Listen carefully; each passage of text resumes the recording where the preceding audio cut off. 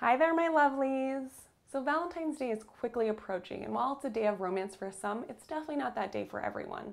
I like to take it as an opportunity to brighten up someone else's spirits, like a friend or a coworker, by making them a small sweet treat. Plus, I get to wear red lipstick and look like I'm in a toothpaste commercial.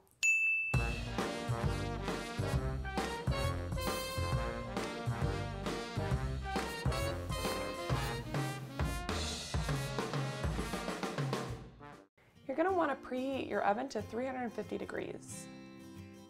In a large bowl, cream your butter and sugar together for about two minutes until it's light and fluffy. I'll put all the measurements in the description below.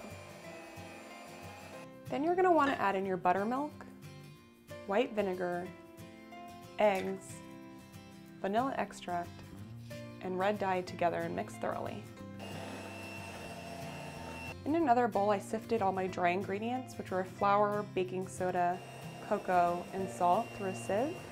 You're gonna wanna add this slowly to your wet ingredients, mix until completely combined. These baking pans are 11 by 7 inches. It doesn't really matter what size baking pan you use, as long as you pour your mixture in about half an inch tall. So just pour in half your mixture into this pan and half your mixture into the other pan. So now just shake them and bang them a little bit to even out the mixture.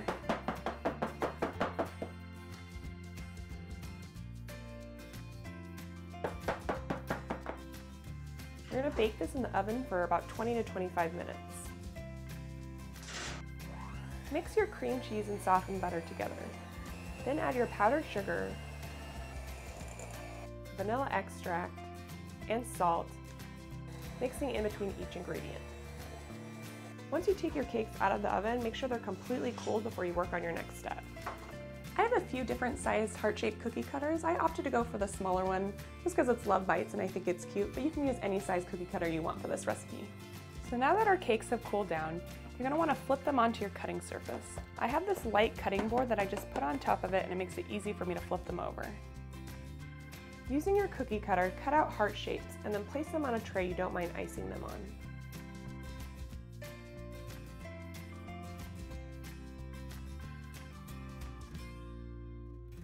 So as I'm sure you've noticed, there's some cake left over. If you want to put that in a sealed container in the refrigerator, up next I'm going to teach you how to make red velvet cake pops using those crumbs, so I'd hate for you to miss it. Make sure to subscribe.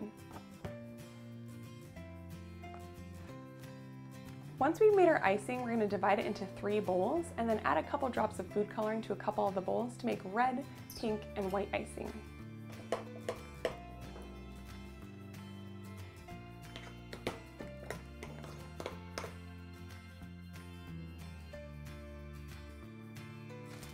Add the icing to a piping or Ziploc bag.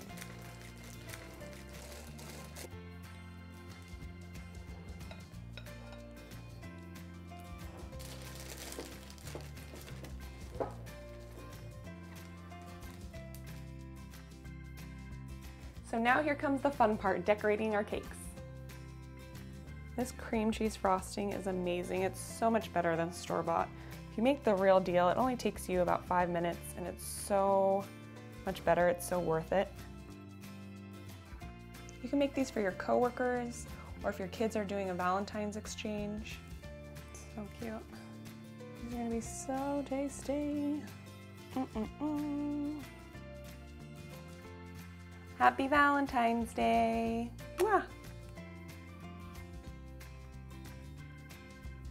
Best thing is you can decorate them differently so each person feels like they got a special one. Just for them.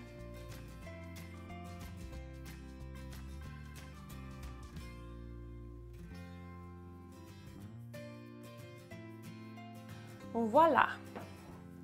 C'est fini. I hope that this helps you make someone else's day feel special by showing them that you were thinking of them. Make sure to subscribe because I would hate for you to miss those cake pops. Bye, my lovelies.